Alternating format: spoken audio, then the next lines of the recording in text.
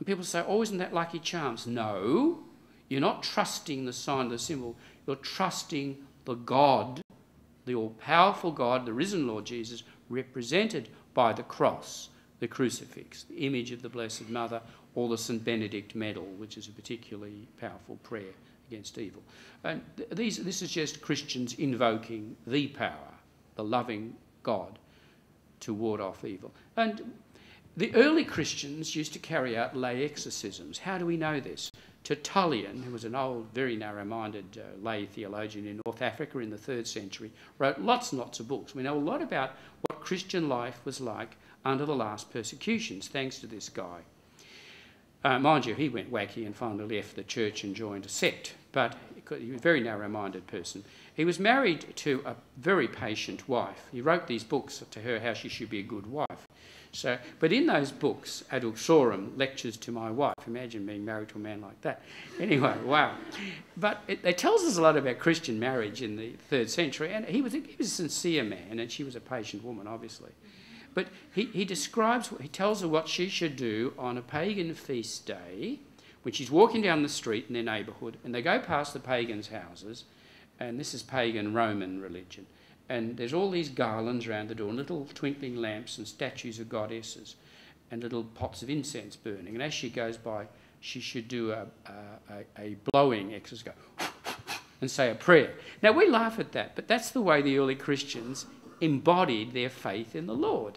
And I'm not saying you should go down the street and when you go past the New Age shop, go.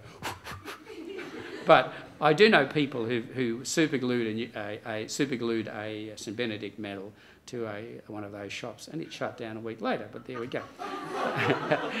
they um, also did it to a sex shop in Wagga, and it worked even quicker. But but see, uh, Christ conquers, Christ, Christ reigns. So let's not get too obsessed with these things. Keep, keep the light touch. But remember, we've got all the spiritual means which come from our baptism. We're born again human beings. The Holy Spirit's in us.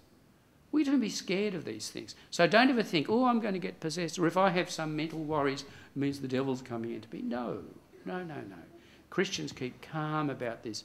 And also, there's another approach which I can recommend if you've got this frame of mind the rationalistic approach.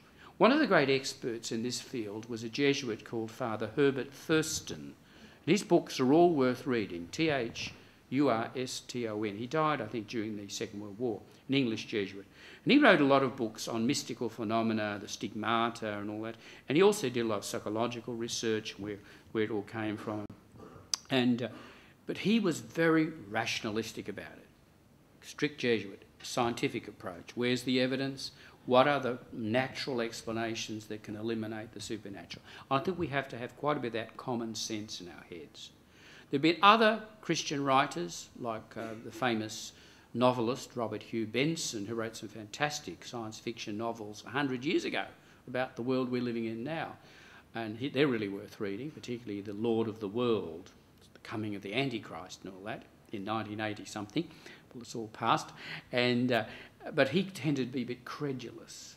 He, was, he believed, he was worried about ghosts and spirits and things. Well, some people who live in Europe are a bit like that. It's partly a personality. I try and keep the two parts of my personality, the credulous bit and the scientific bit, in sync. I think it's, it's one way of coping. But if you're very sceptical about these things, good on you. It's a probably healthier attitude than being oh, too credulous. Because that's why the New Age is flourishing. People swallowing the stuff. I mean, when you think, what on earth has a bit of crystal got to do with your health? Nothing. Go and talk to medical practitioners, top medical, they just burst out laughing. And some, some, some natural medicines have got good base because they're based on natural chemicals in plants and things. No worries. But when you start to tinker around with looking at a crystal, that's going to do this and that, and people putting their hands over you, here's the Reiki method, and all these radiations are coming. And then, after a few sessions, they tell you, oh, I have a spirit guide behind me. Uh oh. That's not natural. We're into the going down the dark track. That's where it starts to slide. So be careful too. Yes. Mm.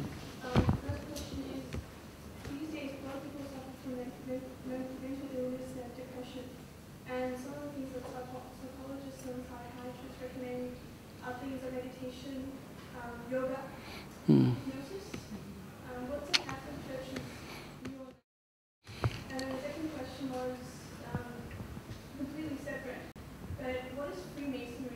Ah, good. And Yeah. um, I think Catholic priests, it's bad.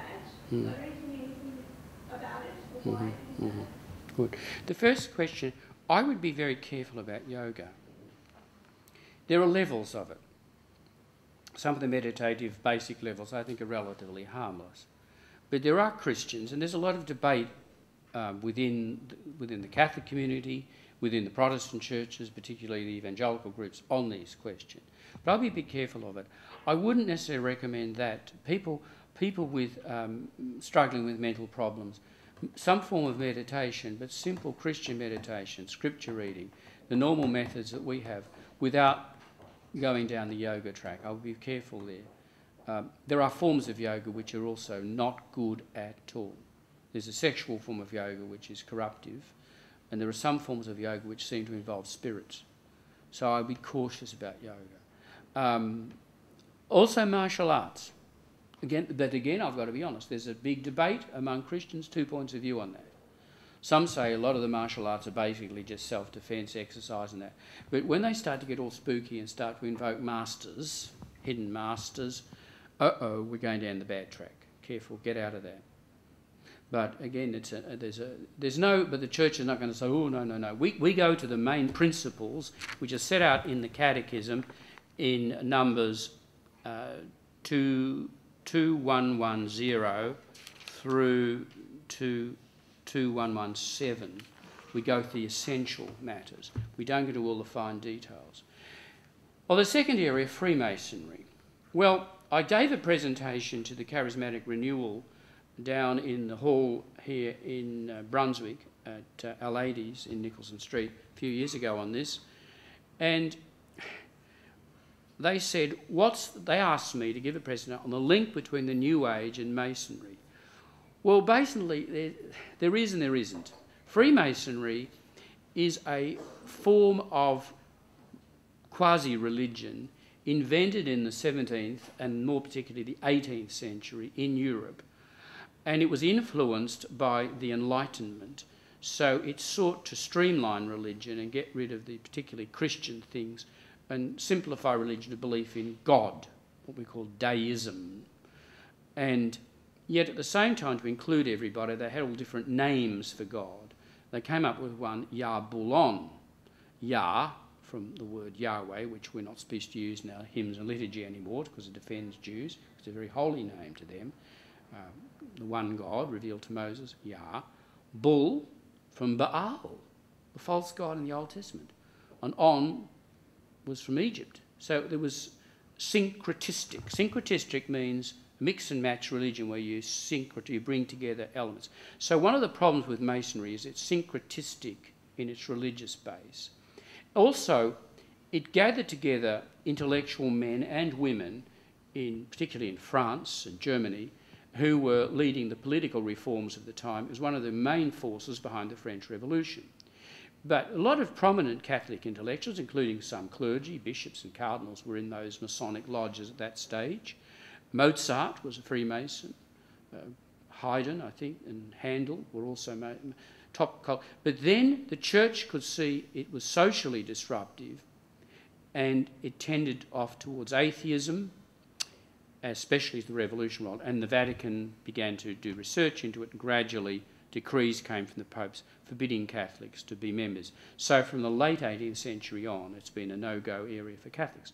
In the 1970s, after Vatican II, that started to wobble, and people said, "Oh, well, you know, maybe, maybe," and it went. And some Catholics joined the lodges, uh, but that since been pulled back. When the new Code of Canon Law was issued, um, it was made quite clear the next day that the ban on being members of Masonic lodges still stays. Well, what's it got? It's a bit like New Age religion. It comes out of the same barnyard. It's a bit Gnostic and mystical. Um, a lot of it's harmless. It's into secrets. You know, and that's another thing about Gnosticism secrets. Christianity has no secrets, it's an open religion.